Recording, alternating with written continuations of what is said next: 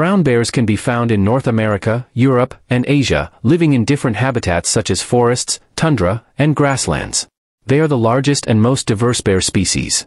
Brown bears are omnivorous, which means they eat both plants and animals. They love to eat nuts, berries, fruits, roots, and leaves, but they also hunt rodents, fish, and even moose. They have powerful jaws, sharp teeth, and long claws that are good for digging, but not for climbing trees. Their fur can be brown, red, tan, cream, or black, depending on the season and the subspecies. Brown bears are amazing animals that play an important role in the ecosystem. However, they can also be dangerous to humans, especially if they are surprised or feel threatened.